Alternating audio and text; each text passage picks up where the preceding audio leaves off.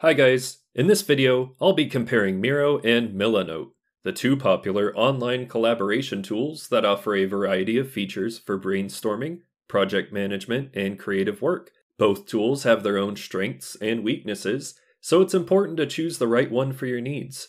So, let's get started. Miro is generally considered to be more user-friendly than Milanote, with a more intuitive interface and easier to learn features. Milanote has a more minimalist design, but it can be more difficult to learn how to use, especially for users who are new to online collaboration tools. Miro has a wider range of features than Milanote, including a wider variety of shapes, sticky notes, and other elements that can be used to create whiteboards. Miro also has a more robust set of collaboration features, such as real time editing and commenting. Milanote, on the other hand, is more focused on helping users to organize their thoughts and ideas. Milanote boards are made up of cards, which can contain text, images, videos, and other types of content. Cards can be arranged in any order, and users can easily add new cards or move existing cards around. Miro has a much wider library of templates than Milanote. Miro's templates are well designed and cover a wide range of use cases, from brainstorming and project management to design and marketing. Milanote's template library is smaller, but it still includes a good selection of templates for common tasks.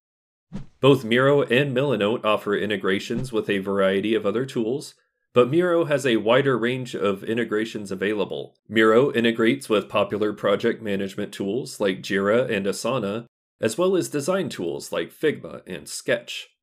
Milanote also integrates with a variety of tools, but its integration list is not as extensive as Miro's. And for the pricing, Miro and Milanote offer different pricing plans, with both tools offering free plans for individual users. Miro provides four pricing plans a free plan with limited features, a team plan starting at $10 per user per month, a business plan beginning at $20 per user per month, and an enterprise plan with custom pricing based on specific requirements. On the other hand, Milanote offers three plans a free plan with limited features. The paid plan is available at $9.99 per user per month if billed annually, or $12 per user per month if billed monthly. Lastly, the team plan costs $49 per month. So, which online collaboration tool is right for you? Miro and Milanote are both excellent tools, but they have different strengths and weaknesses. If you're looking for a tool that's easy to use and has a wide range of features, then Miro is a good choice. Miro is also a good choice for teams that need to collaborate on a variety of different projects, as it offers a wide range of integrations with other tools. If you're looking for a tool that is more focused on helping you to organize your thoughts and ideas, then Milanote is a good choice. Milanote is also a good choice for teams that are on a budget, as it offers a team plan that is less expensive than Miro's.